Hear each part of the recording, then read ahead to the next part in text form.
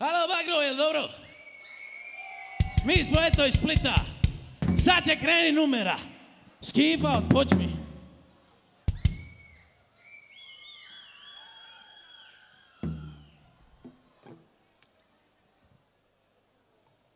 Gle,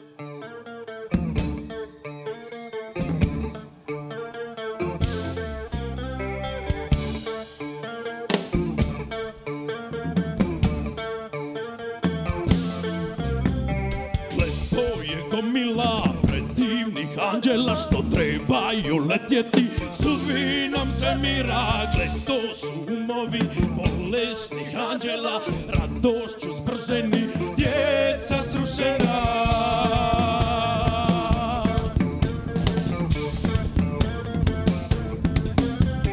Daleko dočiju prirode majke Ispleli svoje predivne bajke Duše im divlje ispliču oči u mraku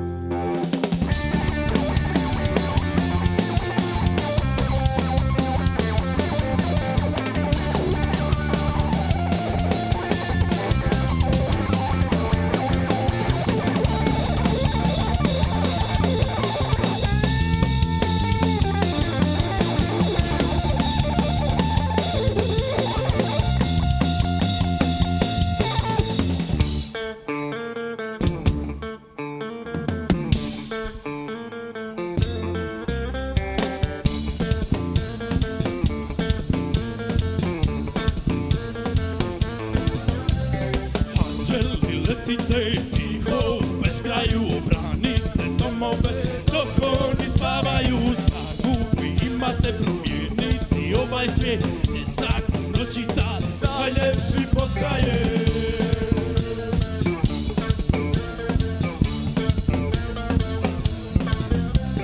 Daleko dočiju prirode majke ispleli svoje predivne